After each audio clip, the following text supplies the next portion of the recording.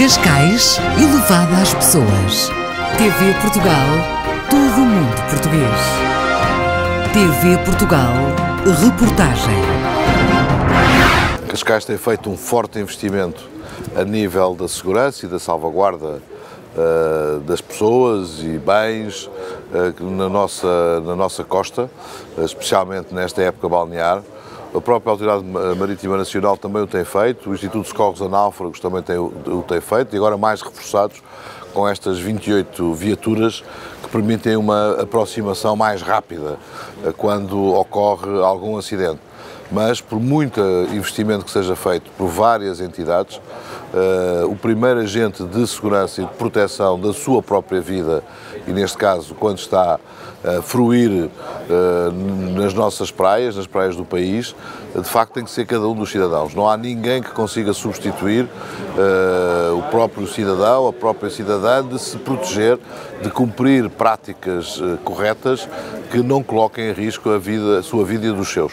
E por isso aqui é de realçar também a atitude da CIVA, que disponibiliza estas 28 viaturas ao Instituto de Socorros a Náufragos, que vai permitir um maior reforço, uma maior capacidade de intervenção e de rapidez em termos de uh, poder uh, fazer o salvamento quando ocorrerem essas situações que se espera que não ocorram. Portugal já tem um nível sinistralidade muito baixo comparado com os outros países, mas cada uma das tragédias, mesmo que seja apenas uma, é uma tragédia muito grande. E por isso mesmo devemos estar todos mobilizados, a sociedade deve estar toda mobilizada para que não ocorram, de facto, mortes na nossa costa.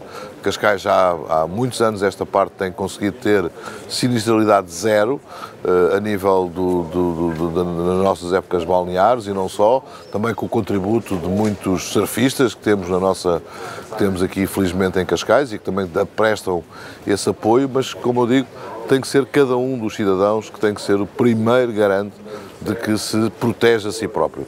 Mas aqui é de realçar, de facto, mais estes meios eh, e eu próprio já tive a oportunidade de saber o que acontece a estas viaturas no final da época balneária. Elas são depois eh, descontinuadas deste serviço e Câmara de Cascais tem todo o interesse em reforçar também os meios das suas forças no Conselho, quer sejam forças como, como é o Instituto de Corros Anáfros, como é a própria Polícia Marítima, mas também no âmbito da Proteção Civil, de podermos vir a ficar com algumas destas viaturas. Cascais, elevada às pessoas. TV Portugal, todo o mundo português. TV Portugal, reportagem.